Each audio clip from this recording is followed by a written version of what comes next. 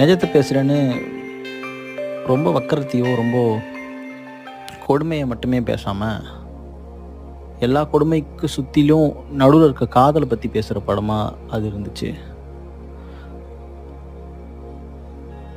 கன்னடத்தில் ரிலீஸ் ஆன sub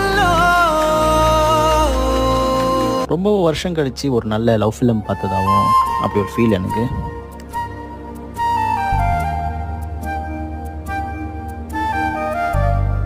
girl ஃப்ரெண்டை பார்க்க போகிற ஒரு பாய் ஃப்ரெண்ட் இதுக்கு நடுவில் நடக்கிற ஒரு ஆக்சிடெண்ட் இந்த ஆக்சிடெண்ட்டை அவங்கள எந்த இடத்துக்கு கொண்டு போகுது?